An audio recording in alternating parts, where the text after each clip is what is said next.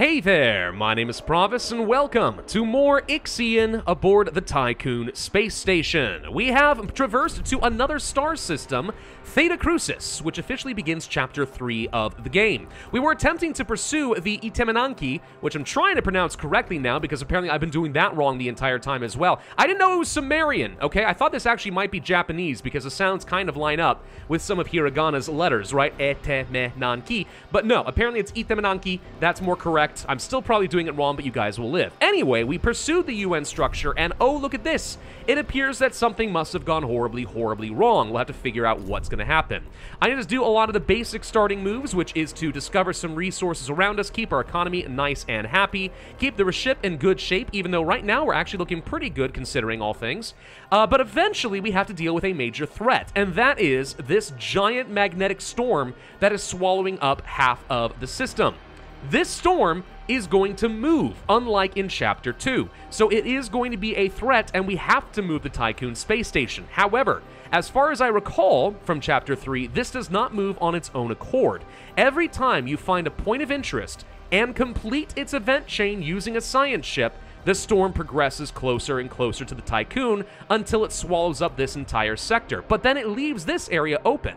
So what you could end up doing is deliberately not set off all of the events around the point of interests until you've mined out most of this area of the map, right? And then when you're ready to move, finish one, two, three, four events kind of in quick succession. Boom, boom, boom. The storm moves. You quickly book it to the other side of the system over here, and then continue doing your mining and your uh, investigations off in this area. The good news also is once you do more points of interest on this side of the system, the storm does not come back. It actually does eventually go away. So then we'll have the entire star system to explore at our leisure. But anyway, the point is, I'm not going to be beelining for these points of interest, unlike with the other chapters. We're going to start nice and simple. I want to find some basic resources. Right here, I think, is probably the literal best spot that we will be able to get any resources, so we'll start right over there. I do think we need to take out at least one of our existing ships, so I'm going to unassign you and put, let's say, the Heisenberg back in charge. And then we're going to move the Heisenberg over here to the destroyed command center.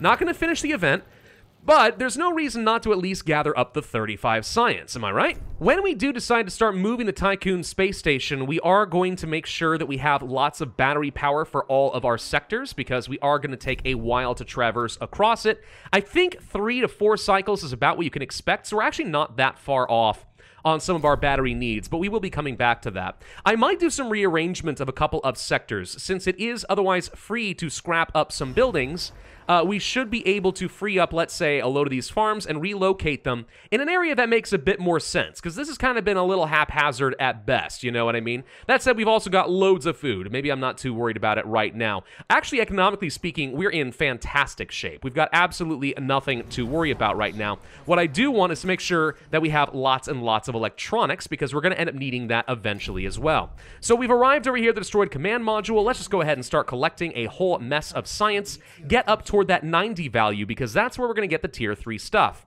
All right, we found some carbon, we found some iron, and we found some silicon. Let's go ahead and allow these guys to actually do their jobs. We'll go ahead and get started with all of these, I think. We will need to find a source of ice. That's something we are currently still missing, but that's fine.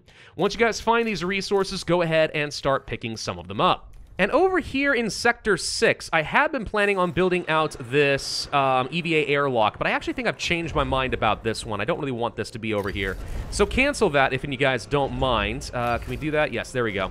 Make sure we cancel this, get our, our resources back. What I'm probably going to do is actually move the probe launcher from Sector 1 and bring it over here instead, where we're making all of the polymers. The reason I'm doing that is because we have some sector specializations over here. If I turn this back on real quick, we can take a look at it.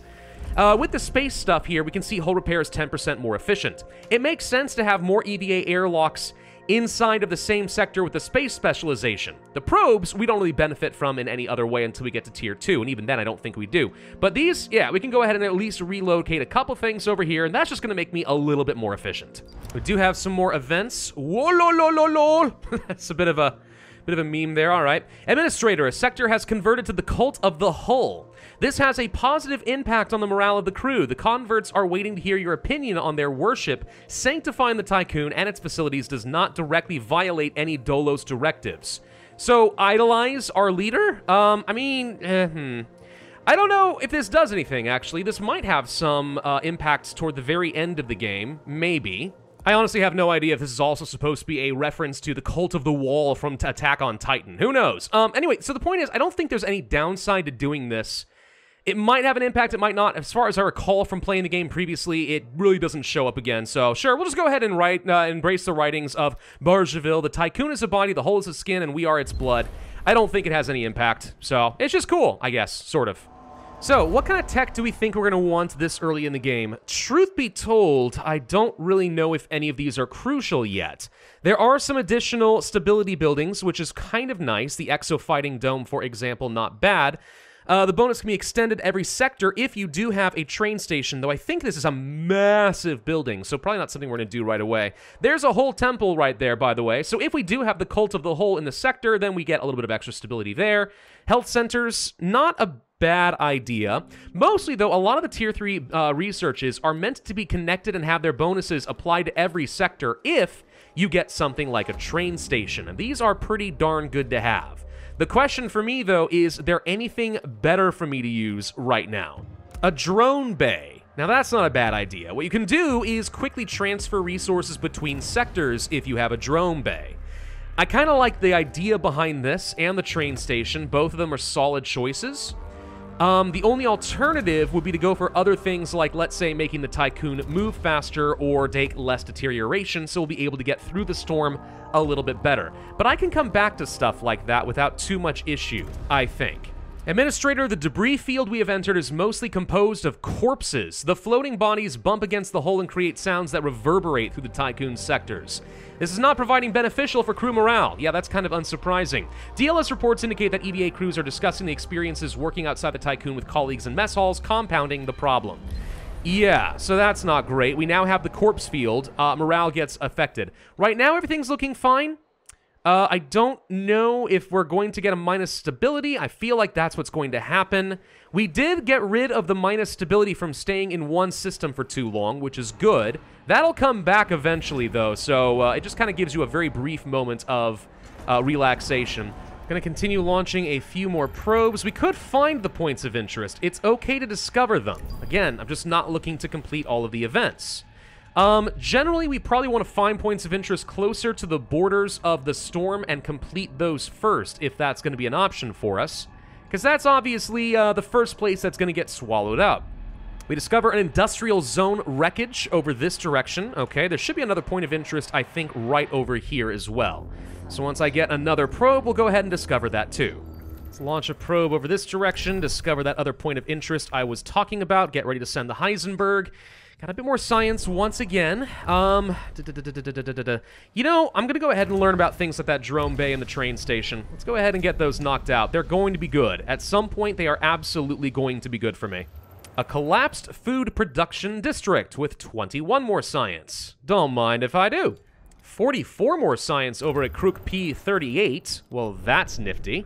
I've now got access to both the drone bay and the train station. Um, I think it's under... Is it under population that I can get the train station? Hang on, where is this thing? It's here somewhere. Or actually, maybe it just automatically applies over here. I don't really remember for sure. It's not anywhere I can build in here for some reason. Um, maybe it actually just automatically applies to every sector. It just says that it speeds up the crew transfer. Um, alright, well, cool. Um, if that is the case, though, it means we can now start focusing on getting some research for things that give me bonuses in all sectors. Like the whole temple, or maybe a health center. And I guess since this is my space sector where most of my resources are being delivered, it's not a terrible plan to just go ahead and build a drone bay over here. I have been hoping to save some of this for maybe a stability building, but yeah, I guess this is okay. Let's go ahead and get this thing constructed. 85 alloys and 4 electronics. Ay, ay, ay. Oh, wait, wait, wait, wait. I think I see a drone flying around over here, dropping stuff off. Okay, so the drones are active. I don't have to actually build anything. Now, something that has been reported is sometimes... Oh, there they go. You're going to have bugs uh, occasionally where the drones don't, like, actually go and do anything. But, um... Nope, looks like they're functioning as intended right now. All right, excellent. I don't think it's going to hurt to go ahead and do one of these events over here, just to show you guys how this works, because I honestly should be in a good enough economic position that if we want to move the storm I could kind of do that early if I wanted to. There's not really an incentive to do that besides, you know, making entertaining YouTube content. So, uh, yeah, let's um, let's do this one.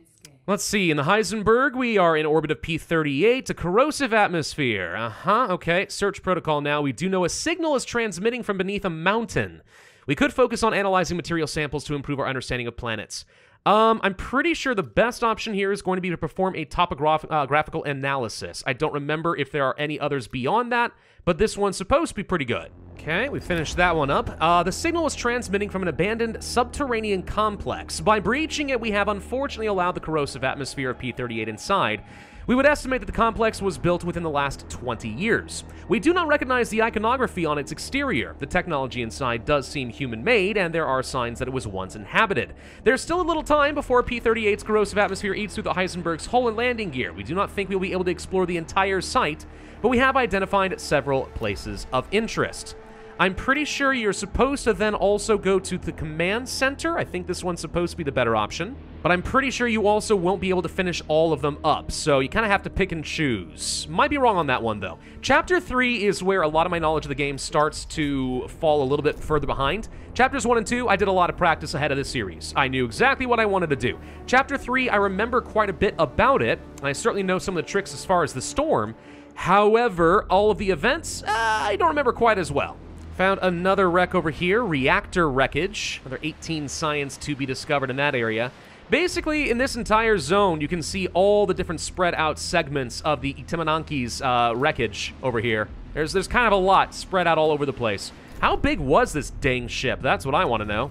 All right, we find over here an intact data drive that was still installed within the center's infrastructure. The disk was heavily encrypted and a significant percentage of its data has been corrupted. However, the data that was accessible has proved very useful. The logs left behind by the center's former inhabitants are technical and precise. They suggest their authors possess an uncommon intelligence and acute sense of self-criticism. Strangely, the organized methodical accounts are occasionally interrupted with mysticism and spiritual remarks. These are seemingly present to justify the results of their uh, Cartesian deductions. Cartesian, sorry. 100 more science. Well, that's beautiful. All right. Next, I think we go for the field operations area. The team identified the area as a sealed landing bay. Once home to several craft of different sizes, signs of EKP travel were found, of a type much more advanced than anything we've come across so far. The team also found traces of organic matter and blood. Some of this was salvageable, and sample analysis revealed that several species seem to have passed through the area. All DNA samples showed that some structural similarity to that of humans. It seems likely that this complex was used as a test site for the introduction of species into the P-38 ecosystem. The various integrity sensors of the crew's suits, as well as those of Heisenberg, indicate that this is necessary to repatriate the team. So that should be, I think, everything we're able to do. Do we then leave? Yeah, I'm pretty sure we have to leave now. If I recall correctly, doing this is going to result in people dying because the corrosive atmosphere should be getting through. Might be wrong on that, but I'm not taking any stupid risks. That's another 140-something science. Beautiful. Over here, I am going to research an upgrade for the EKP engine. The faster the Tiqqun is able to move, the less damage we're going to inevitably take when we have to book it through this storm. Okay, if that's all the science we're able to get there, let's move over to the reactor wreckage. We're going to pick up another 18 or so.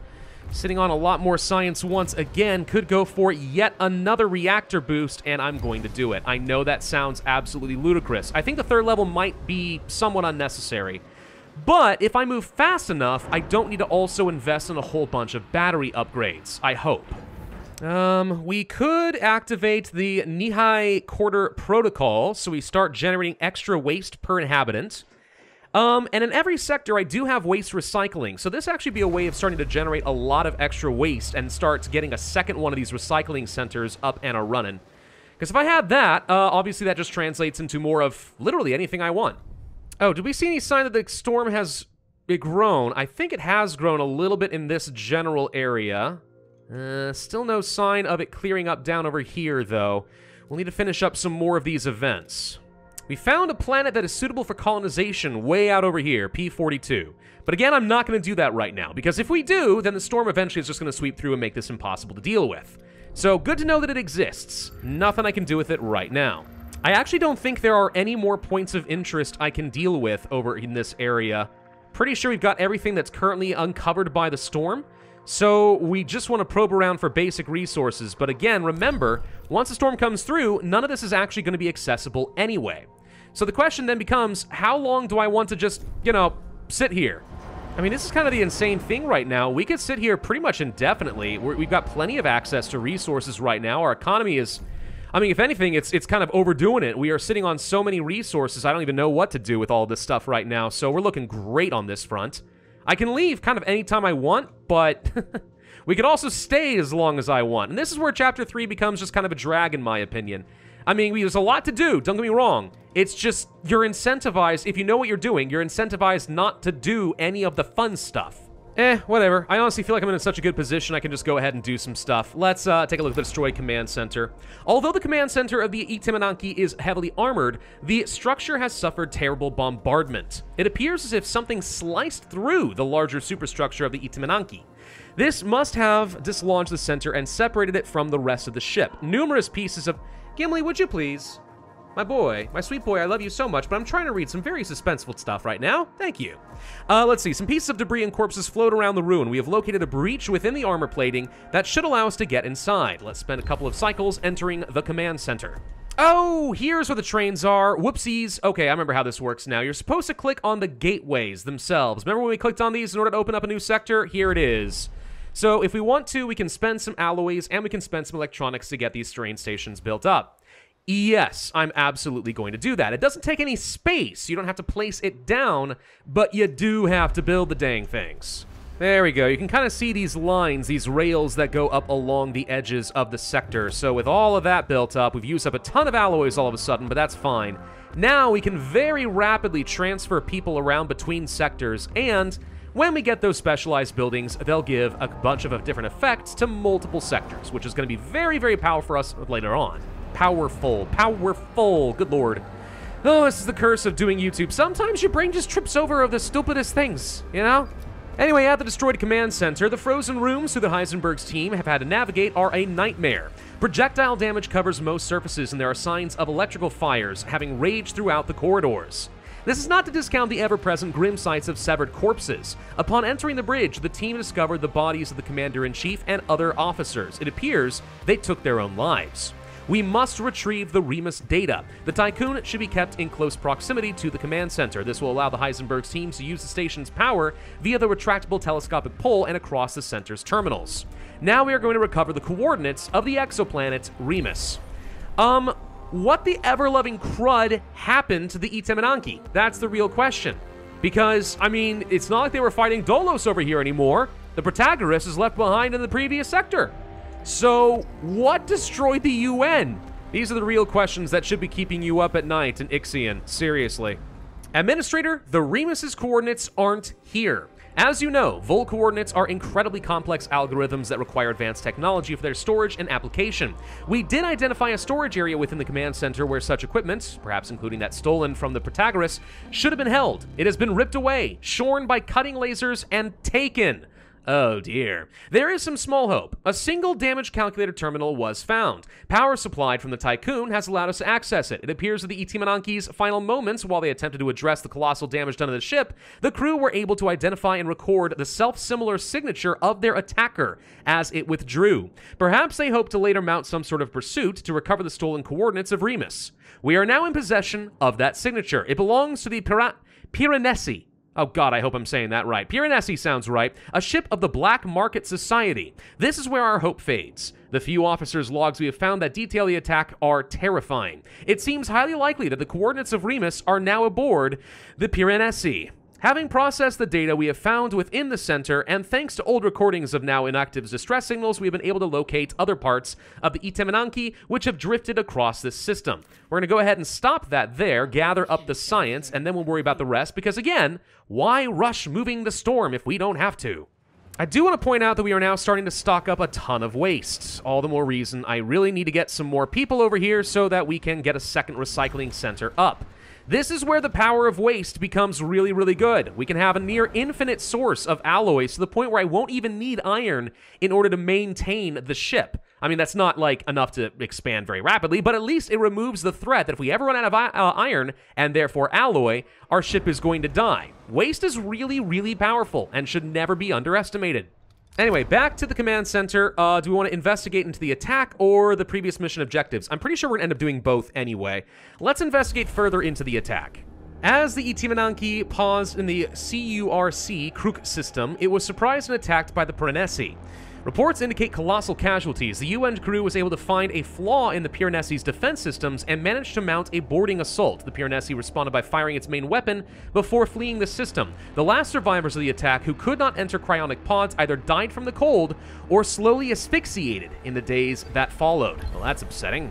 And by powering the command center, the Heisenberg's team was able to extract and analyze core mission data. The Itemenanki was a UN ship initially launched to find other exoplanets, Early data logs of their voyage indicate a glaring lack of preparation to accomplish such a task. In the absence of habitable exoplanet, they seem to have concentrated on the search for the what the UN had designated as enemies of humanity, Dolos and the Ashtangites? Ashtangites? I think it's Ashtangites. By boarding the Prota uh, Protagoras, the Itemenanki was able to locate Remus. And this should finish off the command center. There's the storm moving forward. Aha! See, and this is where you need to be a little scared. We have an incoming transmission. Mm-hmm, okay. We have found that the Piranesi's signature stored in the Itimenanki destroyed command center. It's a ship unlike any other in our records, a formidable opponent in possession of Remus's coordinates. We have no choice but to confront them. Before we leave, we better figure out a way to actually beat them. Yeah, makes sense to me. Jeez Louise! Awaken 2,000 more cryonic pods? Oh! I don't want to do that. That sounds awful. We also now have a requirement to build enough batteries so that four sectors have the backup power for five cycles. So that basically means we now have to get things like the medium battery, the tier 2 battery should be sufficient, I believe. Uh, it also means I have to open up a fourth sector at some point soon. That one probably will end up being a sort of population center. We'll probably put in uh, a load of our cryonic pods. We'll have to awaken a lot of people. We might even turn on the policy specifically to only wake up workers and then fill it with enough stability buildings that we don't actually have to suffer for that.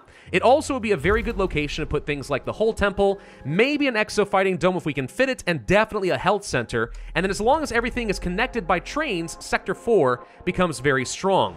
I do think it's time that we actually undock the Grail and bring back the Gannet as our science ship, because for this next area, we're going to probably want to just go ahead and get everything done all at once. So I'm going to move the Gannet over here, and the Heisenberg over here. And we're going to try to finish up both of these sectors basically at the same time, pulling all of our ships back. The storm is going to surge forward. We're going to retreat as much as we can, and then we're going to make a beeline for it. But hey, look at this. We found a whole load of new stuff. So what do we do at the industrial zone wreckage? Um, I think we want to hmm, investigate a storage area, look for a source of yellow particles? Let's um let's let's start with the yellow particles. Color me intrigued. Specifically the color is yellow. And then over at the food district, we are on site. This part of the ship was responsible for food production. It has two zones, vegetal and animal. What about mineral? No, it's fine. Uh, identified a self-contained aerial containing a heat signature. Hmm. Um, we can do, I think, all of these, though I think that the cautious approach leads to some issues later. So let's um, Let's start with the vegetal zone. Now, realistically, I think this exists in the off chance you don't have a lot of food, and I'm pretty sure we're going to find a load of food here. So if you're if you're finding yourself in that sort of a position, maybe this is one of the first things you go for. We have been building our ship very carefully and methodically here so that food is not even remotely a concern. So I don't care about that one iota. Let's see, what do we find in these industrial ruins? We follow the trail of yellow particles through the vacuum to another section. It appears to have been at least partially spared from the destruction we have seen elsewhere. The particles come from crushed and damaged flowers of yellow squash.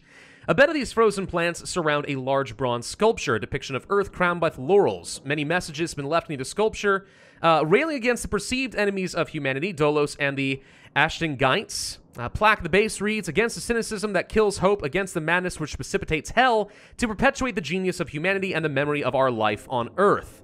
There was a sealed time capsule. It could potentially be opened. You know, let's do it. I like time capsules, who doesn't? All right, over here, what do we find? Drilling through layers of debris, we found a vegetable production area. They were greeted by the floating corpses of UN soldiers and crews. Ah, I think I know how the plants are fertilizing themselves. A few district workers seem to have roached, uh, sorry, reached emergency cryopods before depressurization. Hey, we apparently need these if I'm going to open up 2,000 of the dang things. That said, we don't need to pick them up right now. It's kind of okay to leave them where they are. Hydroponic technology was used to grow fruits and vegetables in large vertical aisles. Recovered yield reports uh, detail how hierarchical rationing reserved the rarest of foods for higher ranking crew members. Got it. So now we get personalized instructions as a new tech. Let's investigate the animal pens. And what does that new tech do? I do not remember. Um, that one right here. Food production speed increased by 40%. Oh, wow. Oh, here's a tech I really want. Crop farms produce 30% more wastes. Yes, let's do that. Inside the space capsule were toys and other everyday items. This is a very long thing. If you want to read through all of this, you certainly can. But basically, um, Earth went all heck and installed a totalitarian government of planetary surveillance to protect the population from eco-terrorists and waves of pandemics. Yeah, they did their absolute best, but it does not appear to have worked one bit. Um, all right, so they were meant to be the Great Ark of humanity, the global project that would save humankind. Only those deemed well behaved in the eyes of the government would be allowed on board. Uh huh. And all that was left behind on Earth were the deviants and the dissidents. Very, very scary. But we also get a new tech self cleaning lubricants for the waste center. Let's explore the industrial zone next. I think that's going to be fine. And what do these self cleaning lubricants do? Over here, there it is. These are going to reduce the power costs, but it's going to be a little while before we can get to that. We are what we eat. The production area was gutted for several hundred meters. A huge amount of floating carcasses made it difficult for the team to differentiate between what is animal and what is not. Ew. Found a load of cryopods. That's good. Uh, they want to note that a cryopod contained a dog. The owner seems to have decided the animal's life was more important than their own. Their corpse hangs onto the pod. That's just sad. Do you want to find a new home for the dog? Yeah, I want to find a home for the doggo. Okay, the industrial zone itself is devastated. Factory machinery and crew were covered by flying molten metal as depressurization occurred. Yikes. Okay, uh, cryopods in the area were covered by steel or compromised, so we can't get anything except for some science. I'm not going to move on to the next one right over here. I'm just going to gather up the science for a bit, because remember, once you're done with these events, the storm moves on. Do we save the dog? Uh, did not expect this decision. I remind you that Dolos regulations prohibit animals from on board the Tiqqun. However, it may be good for morale. I strongly agree with that. Oh, I got an achievement as well. Yay! Okay, embrace of breaching time. Uh, all ships are now going to be returning back, so we should be good. Because remember, this storm is very suddenly going to come up on us next.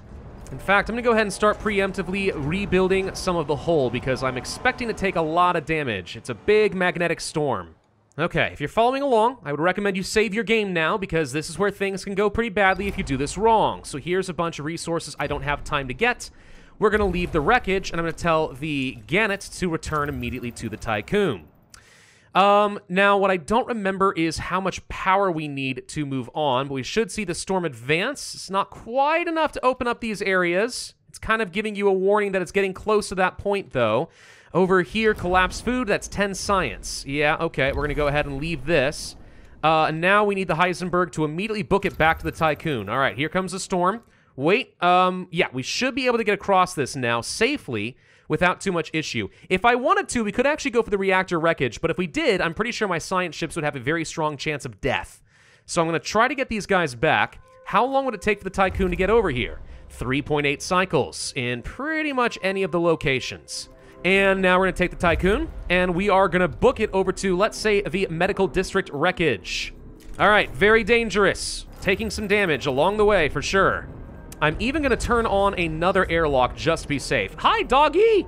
This is weird. The crew has discovered it's not actually a dog, a borzoi, to be exact. Not discovered how it came to be on board. Its mere presence violates several health protocols. But it does seem to be benefiting morale quite a bit. Um, uh, uh mm, I'm gonna recognize the dog as a member of the crew. Permanent stability bonus! Yay! Now, while the Tiqqun is traveling, I'm going to go through here and I'm going to avoid all of these resources. I wish there was a way to mass do this. Maybe there is and I'm just not familiar with it. But I do not, whoops, want to risk any of my ships making the mistake of coming out here to gather up resources when I'm not paying attention and then we lose the ship. At least not until the storm has passed. Oh my god, we just took a massive hit to our hull. Holy crud, that was scary. Yeah, and that's why I've got three EVA stations trying to repair this thing right now. We are booking it as fast as I possibly can. You need the engine upgrades. You really, really do. Or else you're going to be in a ton of trouble. I actually am kind of wishing I had gone for the reinforced steel cladding just to uh, reduce the deterioration a little bit. Hopefully this is not a horrible mistake, though. We just need to have not one more of those events. One more might be enough to kill us, but we're almost in the clear. Almost in the clear, and we should now be safe. Well, I say that, we're on fire! Hold on! Oh, wait, um, fire station, fire station. I need a fire station. We'll place it right over here. Quickly, quickly, quickly! The good news is I did research the Stanford Initiative, so we automatically start repairing buildings just by having this right now, which is pretty helpful. Reduced chance of accidents. Ooh, that actually is pretty darn good. But anyway, so we're going to get the fire station up and running. Um, this is something we may not need really beyond this. Um, it's kind of the damage has already been done, I think. We'll get this stuff repaired automatically. Uh, but, but, the mere having of the fire station is going to be important at a later date, for reasons I'm not going to disclose. For now, let's go ahead and send our science ships out over here. Again, if we can finish out these events, the storm will simply move on. So we now want to finish these out as fast as we can. And we should start probing for some more local resources. Um, there's some ice and some silicon. You know what? Good enough. Let's just find out what's going on over here. Alrighty, I think this is a good place for us to end this video. I assume we're going to get this fire uh, under control, but worst come to worst, here's the fire station, and it's spreading. Yup, we need to get this fire station going. we need to get it going for sure. But we braved the storm, alright? We challenged the storm, we crossed through it, we took some damage, but we're going to be just fine and dandy. Now we need to find out what the heck else happened to the Itemenanki over here, find some more resources, and move the storm on. Then we will be able to explore the rest of this area at our leisure, before moving on to Chapter 4. Thank you all for watching. Hope you enjoyed. If so, it ask you hit that like button, leave a comment, subscribe, make sure you hit that notify bell, and I will see you guys next time.